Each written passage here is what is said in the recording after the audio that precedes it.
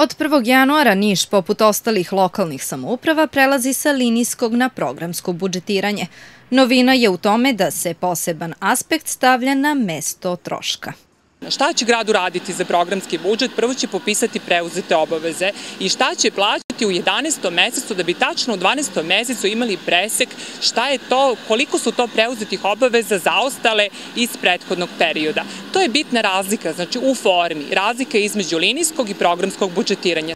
Ovime se omogućava transparentnije učešće građana u sastavljanju budžeta, napominje Kostićeva, a programskim budžetiranjem će i država bolje kontrolisati rad lokalnih samouprava, uverava ona. Sada je jako bitna stvar je u stvari trošenje, obzirom da znamo da sve predstavlja trošak, da je bitno učešće variabilnih i fiksnih troškova u stvarivanju bilo kog programskog budžeta, ali je mnogo bitnije za ministarstva koja će kasnije vršiti kontrolu nad radom lokalnih samouprava i tačno će znati u procentima koliko se ostvario određeni program po kojoj aktivnosti.